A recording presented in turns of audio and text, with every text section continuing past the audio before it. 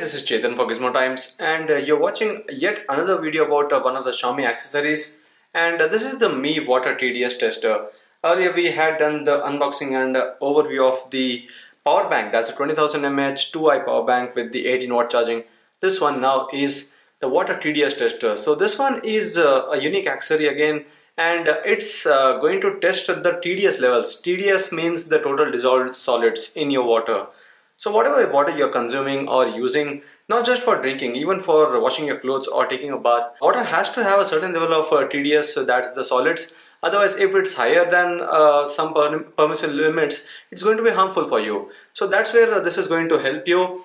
It's actually uh, an anti-dust and anti-corrosion uh, body and uh, the sensor is anti-dust and anti-corrosion one it comes with an LCD display and an IPX6 waterproof body. X is for the dust resistance and 6 is for the waterproofing and the TDS range is from 0 to 9990.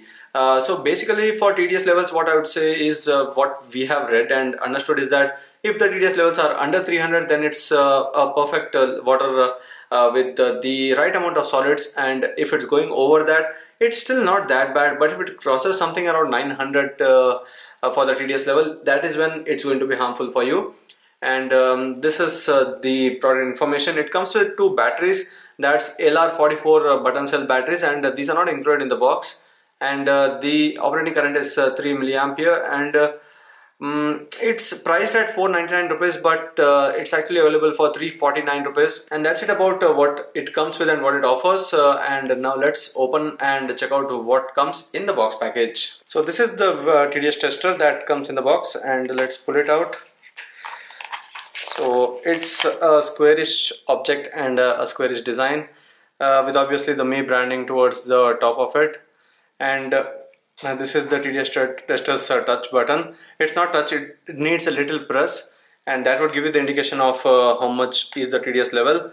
And this is the water storage uh, uh cup or the lid. Here you can keep um, have some water on it and then if you uh, place it here then it would take the TDS levels and show it to you there uh, this is uh, the metal TDS probe that is present inside the body and there's also the leakage type temperature sensor at the same place. So this is the metal TDS tester. We'll be doing some tests and we'll be adding that here.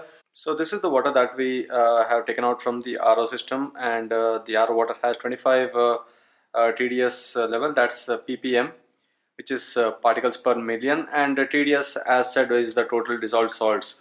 So that 25 is quite a low number uh, and uh, which means that uh, the water is quite clean for uh, usage.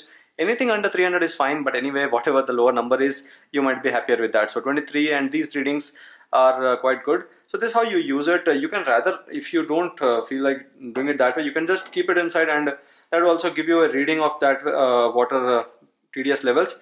But anyway it's better to keep it in a cup and then keep it inside so that the water is perfectly tested. You don't uh, have to keep moving it or shaking it. And this this is the uh, TDS level in this water. So that's it on this test. And you can test it in uh, most of the different uh, uh, kind of uh, waters. The ones that you're drinking the one that you're using for washing clothes. Because for washing clothes as well the salt levels or whatever the solid levels are they are important because the uh, soap that you use or the detergent that you use that does not get well dissolved in water in case there is a lot of uh, Uh, other solids uh, that's uh, TDS in that water.